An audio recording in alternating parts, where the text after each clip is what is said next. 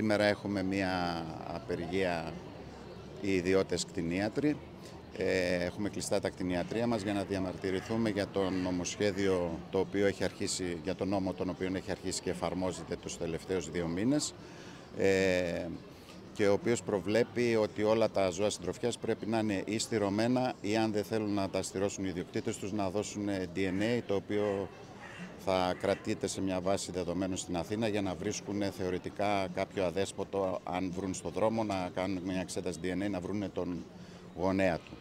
Ε, εμείς διαφωνούμε με αυτό διότι το μέτρο είναι τελείως αντεπιστημονικό. Στήρωση σε όλα τα ζώα δεν μπορεί να γίνει όπως καταλαβαίνει ο καθένας διότι γίνεται με αναισθησία και είναι μια επέμβαση που μπορεί για ένα ζώο υπερήλικο ή αν έχει κάποιο άλλο νόσημα να μην ενδείκνυται.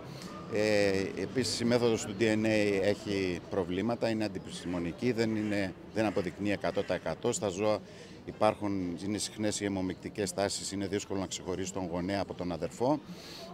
Ε, και υπάρχει και το πρόβλημα ότι ε, με το DNA ουσιαστικά θα σταματήσουν οι υιοθεσίες ζώων. Διότι αν υιοθετήσει κάποιος ένα ζώο από το δρόμο, τριών ετών ας πούμε, είναι σαν να υιοθετεί και το προηγούμενο ε, το παρελθόν του. Το οποίο ζώο μπορεί να γεννήσει πριν τρεις μήνες και να, έχει, να είναι αδέσποτα τα παιδιά του μέσα εισαγωγικό ή απογονή του, ας πούμε, να το υιοθετήσεις εσύ και μετά από ένα μήνα να έρθει το κράτος και να σου πει: Εδώ έχεις αφήσει ένα αδέσποτο.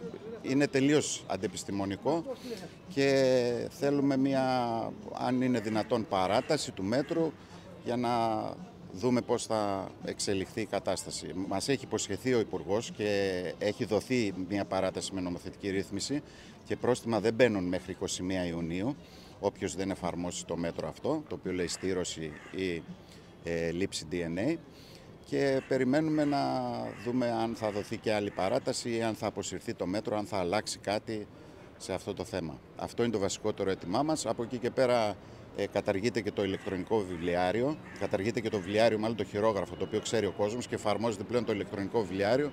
Ζητάμε να υπάρχει επίσης το χειρόγραφο μαζί με το ηλεκτρονικό, να μην είναι μόνο ε, ένα χαρτί απλό ε, το βιβλιάριο και αυτά είναι τα αιτήματά μας. Θεωρούμε ότι οι Δήμοι πρέπει να δραστηριοποιηθούν πιο πολύ, να φτιάξουν κοινοκομεία, καταφύγια, δημοτικά κτηνιατρία και ό,τι λεφτά έχει το κράτος να τα δίνει σε Δήμους προκειμένου να περιθάλπει αδέσποτα και όχι σε ΜΚΟ όπως του επιτρέπει ο νόμος για τον οποίο διαμαρτυρόμαστε.